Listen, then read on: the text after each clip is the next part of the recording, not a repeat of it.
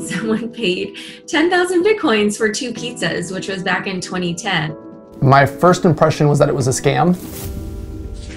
2017, we saw the price rise to nearly $20,000. Want to do another shot? Yes, another shot. I'm 19 years old. I'm one of the youngest Bitcoin millionaires. These are some magazines that I was in in Forbes and in Fortune magazine. Yeah. Okay, here we go.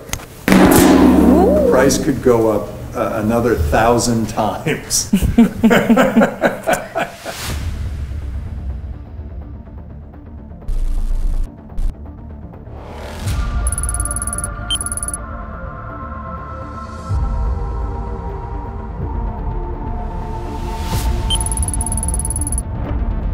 In the year 2140, all the Bitcoin are slowly mined. Is that it's very inefficient and it's actually wasteful and it's environmentally harmful.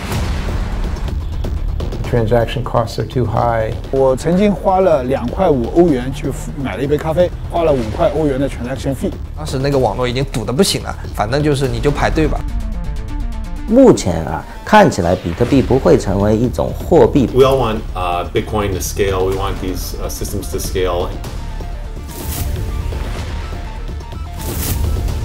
核心开发者控股，还有一个基金会，三权分立，真正是把博弈论做到了极致了。 It's unfortunate to see that it broke off as two different camps. Bitcoin is unbelievably powerful, and people want to manipulate the community and gain control. 有句话叫做“闷声发大财”，那样其实我们会在经济利益上赚得更多。 And you know the saying, like 树大招风.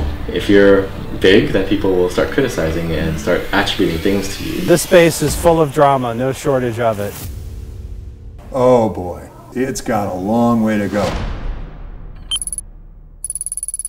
The reason that Bitcoin worked and worked so well was because of the underlying technology. Blockchain, that was the real innovation. How far can blockchain go? Possibly very far. To the moon? I think it's going to go on forever.